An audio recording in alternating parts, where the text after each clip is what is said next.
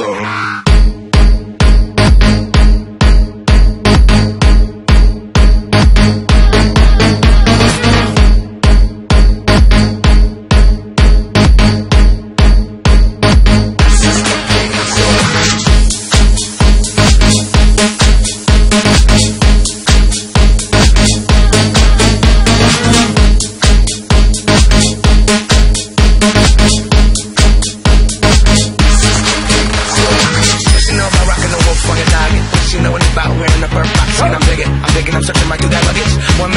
That luggage. One man's come up. Get